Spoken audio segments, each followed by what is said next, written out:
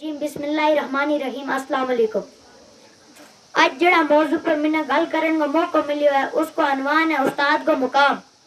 हमारा स्कूल में जड़ा ये उस्ताद में हकीकत में ये कौम की बुनियाद हुए।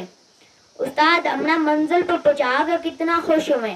उस्ताद को रुतबा, माँ बाप का रुतबा के बराबर हुए उस्ताद जुड़ा हम इल्म लें उस पर अमल करा।